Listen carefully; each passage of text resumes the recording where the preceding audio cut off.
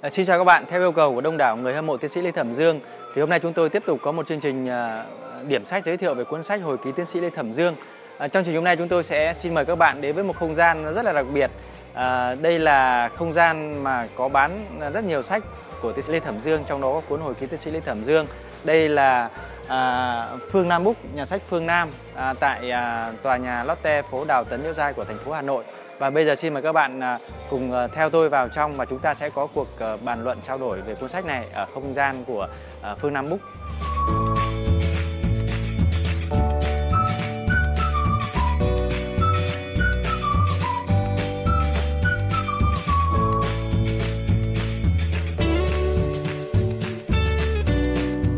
À, xin chào các bạn, hôm nay tôi sẽ giới thiệu với các bạn một uh, số những thông tin rất là thú vị trong cuốn hồi ký tiến sĩ Lê Thẩm Dương. Mà nếu như không đọc ờ, trong cuốn sách này thì các bạn sẽ khó hình dung về tiến sĩ Lê Thẩm Dương. Ờ, chi tiết đầu tiên rất thú vị là bây giờ nếu các bạn nhìn thì các bạn có thể thấy là tiến sĩ Lê Thẩm Dương có thể là giảng dạy một ngày 3 ca sáng, chiều, tối. Và lúc nào ông lên bục giảng là lúc đấy là là hết mình luôn như là ngày mai không còn được dạy nữa. Thậm chí là nhiều lúc ông di chuyển từ thành phố nọ sang thành phố kia từ tỉnh thành này sang tỉnh thành kia à, nhiều học trò đệ tử trẻ khỏe đi theo ông nhưng mà cũng không theo được nhịp độ của ông. Mọi người rất là thán phục cái sức làm việc sức chịu đựng của ông. Nhưng ít ai biết được rằng ngày xưa thuở nhỏ thì tiến sĩ lê thẩm dương là bị đẻ non mẹ đẻ non.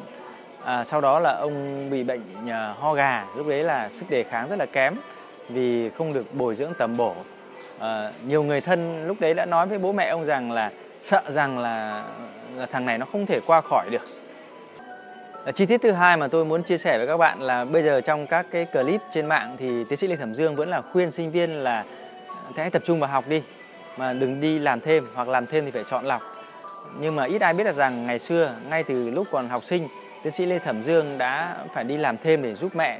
Thời đó gia đình ông rất là khó khăn, ông làm cửu bạn ở nhà máy cao su Sa Vàng. À, sau đó khi lớn lên một chút, khi ông bắt đầu à, ờ, vào học đại học là sinh viên thì ông là đi buôn lậu ở Lạng Sơn và ông kể lại rằng là ông đã từng bị công an biên phòng bắt và nhốt vào một cái lán ở trong rừng để qua đêm cho mũi nó đốt à, để à, nhớ lần sau chừa không không đi buôn lậu nữa. Lúc đó thì ông chỉ cần ờ, khai là à, là sinh viên đói quá nên phải đi buôn lậu thì mọi người cũng tha. À, tuy nhiên đấy là những chi tiết ngày xưa thôi. À, ngày nay ông hay khuyên các bạn trẻ là Ờ, có thể sai lầm nhưng tuyệt đối không được sai phạm. Ờ, điểm thứ ba à, tôi xin chia sẻ là bây giờ khi mà hỏi tiến sĩ lê thẩm dương thì ông đều trả lời ông không phải là một con người duy tâm ông không tin vào bói toán. Nhưng thực ra trước đây khi mà tiến sĩ lê thẩm dương đã lỡ cơ hội đi du học khi thiếu 0,5 điểm ấy, thì ông cũng đã từng rất là thất vọng rất là chán trường và ông đã tìm đến một bà bói. Lúc đấy ờ, ông kể rằng bà bói có nói là cái số của mày không đi du học được đâu không đi xuất ngoại được đâu nên là đừng có gì đừng có buồn. Đấy, và lúc đó ông đã tin đã ông đã tin vào vào vào bà bói. Thế nhưng mà bây giờ thì ông đi nước ngoài liên tục thậm chí là giai đoạn à, gần đây là ông đi mọi người nói là ông đi nước ngoài như đi chợ. Chi tiết thứ tư mà tôi muốn chia sẻ với mọi người là à, bây giờ nếu mọi người nhìn tiến sĩ lê thẩm dương ông xuất hiện trong nhiều hội thảo nhiều chương trình. Ở mỗi một chương trình thì ông lại có một cái cách ăn mặc một cái trang phục rất là hợp lý nhưng ít ai biết được rằng thời ông là thanh niên. Thì ờ, ông cũng là một thanh niên rất là đua đòi thời đấy, thời bấy giờ.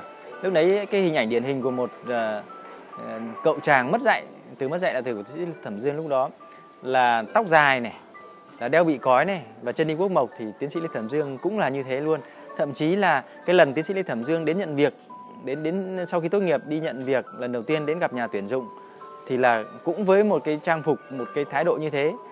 À, và ông lúc đó ông còn quẳng cái bị cói lên lên lên trên mặt bàn trước mặt nhà tuyển dụng với uh, hy vọng là nhà tuyển dụng sẽ không nhận ông nữa.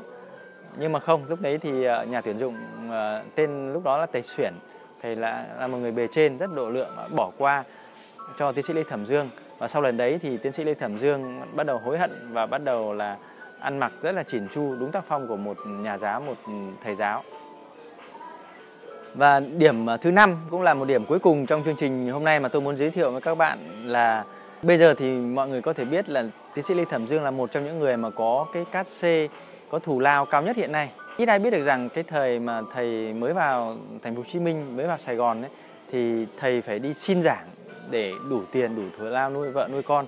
À, tiến sĩ Lê Thẩm Dương có kể lại rằng thời đó là ông có dạy thêm ở trường Đại học Mở Thành phố Hồ Chí Minh. Rất may là hồi đó là có thầy Phú, thầy đã hiểu hoàn cảnh và tạo điều kiện để cho ông dạy nhiều môn, thậm chí là có là những môn không phải trở trường để đủ tiền nuôi vợ và nuôi con. À, lúc đó vợ tiến sĩ Lê Thẩm Dương vào cùng ông thì cũng không có việc làm, con thì nhỏ. Lúc đấy thì ông phải tìm mọi cách để có thể có thêm thu nhập và đi dạy thêm là một trong những những cái à, việc mà ông có thể làm tốt nhất bây giờ.